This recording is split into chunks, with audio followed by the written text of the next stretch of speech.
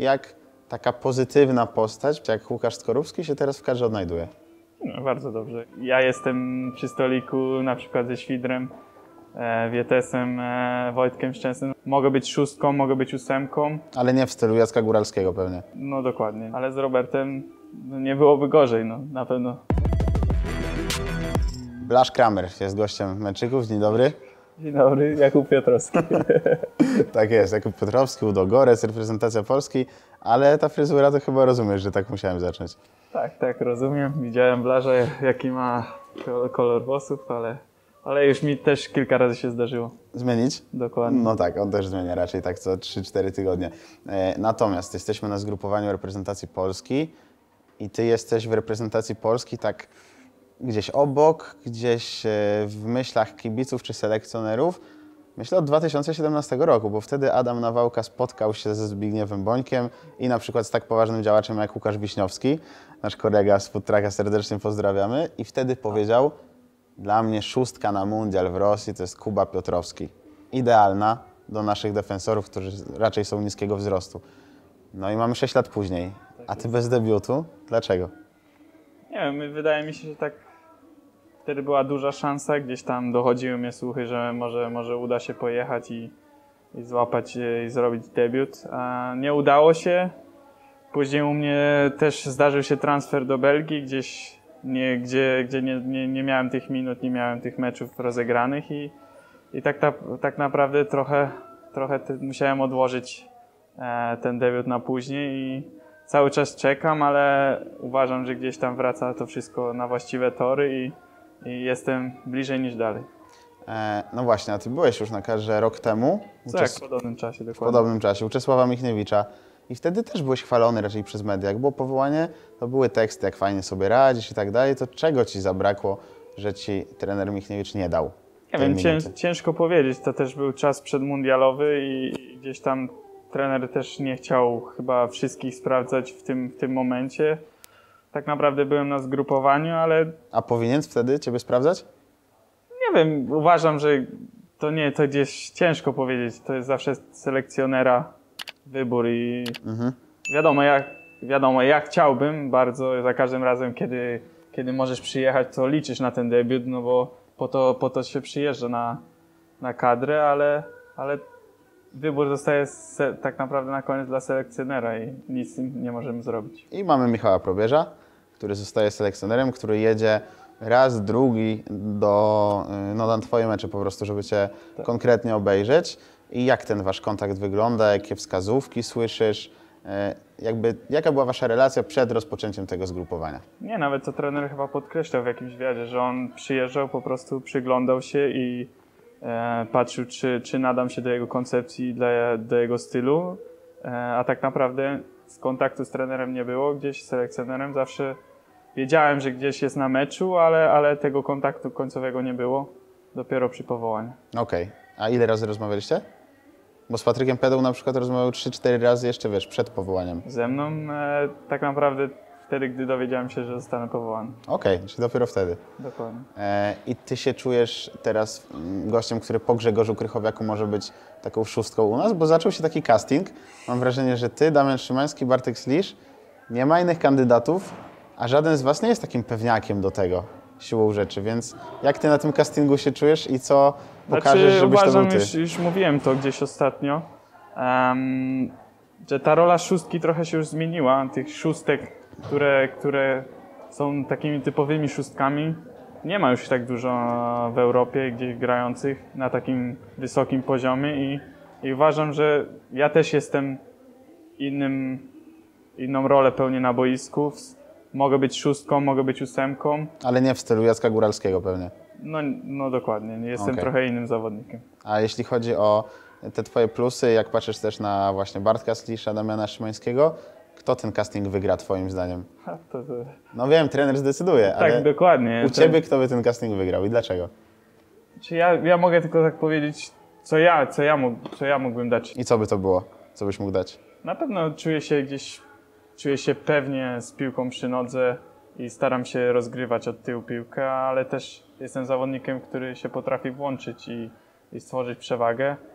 zależy też pewnie, czego będzie w danym meczu reprezentacja i trener potrzebowała i to będzie decydowało. Jak patrzyłeś na Grzegorza Krychowiaka, to co sobie myślałeś? Wiem, że nie będziesz go teraz krytykował niesamowicie po ostatnich meczach, ale oglądałeś tą kadrę i myślałeś sobie co, że potrzeba zmiany, że brakuje następcy? Jakby jakie było takie twoje szczere odczucie?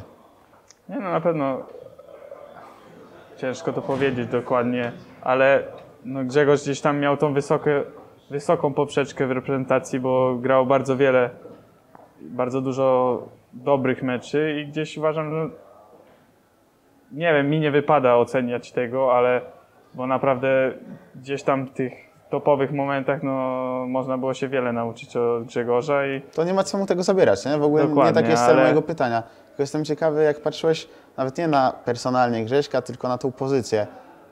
No uważam, że później gdzieś ta, to się zmieniło trochę, gdzieś e, Przestało to tak funkcjonować, jak powinno pewnie.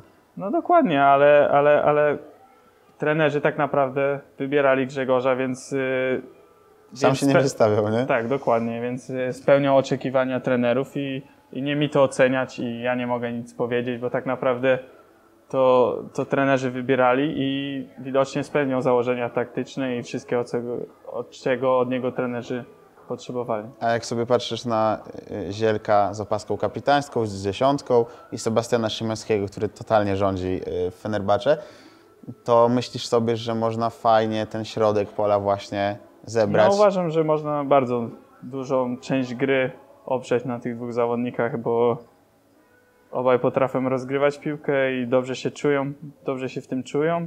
Są też nie do końca tymi samymi zawodnikami, co, co jest dobre, bo mają trochę inne cechy jako zawodnicy, ale uważam, że razem mogą no, tworzyć te trzon tej reprezentacji i tworzyć grę ofensywną tej reprezentacji. Mhm. A y, jak patrzysz teraz na zgrupowanie i widzicie, że no są zmiany, całkiem dużo. Nowy selekcjoner, Dokładnie. nowa obrona siłą rzeczy będzie, nowy środek pola i nowy atak. Czyli tak naprawdę trochę wszystko nowe pewnie poza bramkarzem. Mm, To jak zrobić, żeby to tak zadziałało? Tak naprawdę to się okaże wszystko na koniec na, me na meczu i na tych dwóch następnych meczach, y, jak to zafunkcjonuje. Ale uważam, że po prostu musimy być odważni i, i próbować, bo nie ma nic do stracenia także w eliminacjach i uważam, że trzeba próbować, trzeba grać ofensywnie i, i trzeba próbować i grać bardziej ryzykownie w ofensywie z wyprowadzeniem piłki i, i wydaje mi się, że to wtedy może zacząć funkcjonować gdzieś, gdzie każdy zauważy, ok, możemy grać, możemy, możemy próbować i możemy być dobrzy z piłką przy nodze. Mm, Ty byłeś totalnie poza tym, co się działo przez ostatnie miesiące w kadrze i dobrze, bo nie ma co o tym gadać, ale chciałem Cię zapytać, jak taka pozytywna postać, pozytywna e, osobowość jak Łukasz Skorupski się teraz w kadrze odnajduje? No, bardzo dobrze, jest spokój i ogólnie ja nie odczuwam żadnej złej atmosfery, wręcz przeciwnie, czuję się dobrze i też dużo, dużo uśmiechu i dużo śmiechu na ogólnie panuje w szatni. A kto to nakręca tak pozytywnie? No nie wiem, gdzieś ja się tam, ja jestem przy stoliku na przykład ze Świdrem, e, Wietesem, e, Wojtkiem Szczęsnym, no to na pewno oni... Macie Wojtka Szczęsnego przy stoliku? Tak, tak, jest Wojtek i na pewno, na pewno jest śmiesznie u nas. No okej, ale to on Was przegarnął, ty, czy Wy powiedzieliście, dobra, siadaj Nie, Wojtek usiadł i, i i jest... tak został? Dokładnie. Sebastian Mila, Tomasz Kuszczak. Co oni robią na tych zgrupowaniach? Ja pełnię normalną funkcję trenerów i, i też widzę, że no, potrafią z, zagadać do zawodników, bo rozumieją, czego potrzebujemy i, i też jak zagadać po prostu. I uważam, że to jest fajne, że no, zawodnicy, którzy odgrywali wcześniej rolę piłkarzy w reprezentacji, e, fajnie potrafią to, to łączyć. Nie, zakładam, że Wy macie spory respekt do nich. Dokładnie. Jakby przez to, że i znają szatnię, jeden wygrał Ligę Mistrzów, drugi strzelił Niemcom, wiadomo jak było. E, I tak się zastanawiam, czy oni, jak tak na nich patrzysz, to nam trochę zdradź, bo sobie z nami tyle pracował, że chcemy coś wiedzieć o nim. Czy on ma w sobie tą tremę i widać po nim, czy właśnie tak Nie, wpłynął nie. super do tej Nie, kadry? no jest, jestem dwa dni, to, to ciężko ocenić, ale po tych dwóch dniach e, nie czuję, nie czuję, żeby e, Sebastian miał jakąś tremę, wręcz przeciwnie. E, też na boisku jest trenerem i tak do, do tego podchodzimy. I, Ale poza wojskiem jest Sebastianem, tak? No też podchodzi, rozmawia, ale, ale no ja szanuję, nigdy nie poznałem jakby Sebastiana jako piłkarza, bardziej poznaję jako trenera, więc dla mnie to też coś innego. Okej, no to ciekawe też przeżycie. A Michał Prołysz jaki jest? Wydaje mi się, że pewny siebie, ale też e, z takim poczuciem, poczuciem humoru, którego też czasami potrzeba. Okej, z polskiej szatni troszeczkę. Pewnie tak, ale... Czy W sensie pozytywnie to mówię. Pozytywnie, tak, tak. No uważam, że jest taki pewny siebie i z pewnym takim luzem, którego też wydaje mi się, że w danym w tym momencie potrzeba. Okej, bez lewego to idzie pociągnąć? Znaczy się, co to znaczy, znaczy Robert, e, z Robertem uważam, że jest zawsze lepiej, bo to jest no, klasowej, e, światowej klasy Mhm. piłkarz, ale no, jest sytuacja, w której trzeba sobie radzić i są następni zawodnicy, którzy muszą dać, może postarać się dać tyle, ile Robert, ale, ale no, jest sytuacja, w której trzeba, radzić bez Roberta, ale z Robertem nie byłoby gorzej, no, na pewno, na pewno nie byłoby gorzej. To jeszcze powiedz w takim razie, jak patrzysz na tą kadrę, e, to z kim ty się w sumie najlepiej czujesz? Tak poza swoim stolikiem, tylko w takiej codziennej relacji, kiedy spędzacie razem czas, kiedy widzicie, że tą atmosferę można fajnie zbudować na Wyspy Owcze, na Mołdawię, na przyszłość. Znaczy się, no ja głównie mam, e, gdzieś tam staram się rozmawiać e, z wszystkimi zawodnikami, bo gdzieś e, chcę się dowiedzieć od chłopaków, jak jest w klubach i sobie porównuję. Trochę, trochę słucham, gdzie, gdzie co Gdzie jak. iść latem. Nie, nie, gdzie, nie, ale gdzie w ogóle jak wygląda plan e, tygodniowy i w ogóle treningi bazy. Ale no głównie trzymam, wiadomo, mam taki najbliższy kontakt z chłopakami, co grałem albo w Pogoni Szczecin, albo w Kadrze 21 Ty byłeś w Henku, byłeś w Fortunie, jesteś w Włodogorcu i jak się tam w sumie czujesz? I co się stało, że ty jako ta szóstka, ósemka, złek, zła, jako środkowy pomocnik, ale nie taki pod napastnikiem, masz 7 goli w tym sezonie, dwie asysty albo trzy, zależy jak liczyć. Co do tego, jak się czuję, no przede wszystkim jest bardzo, gram regularnie i bardzo dużo e, minut i bardzo dużo meczów, więc to mi pomogło wydobyć mój jakby potencjał, e, odbudować się, e, zdobyć tą pewność siebie. A co się stało, że zestrzelam więcej bramek? No też analizuję miejsca, w którym mogę wbiegać sobie gdzieś e, szukam sobie, szukam sobie tego wolnego miejsca w polu karnym i też przed polem karnym staram się być e, spokojniejszy w wykończeniu akcji.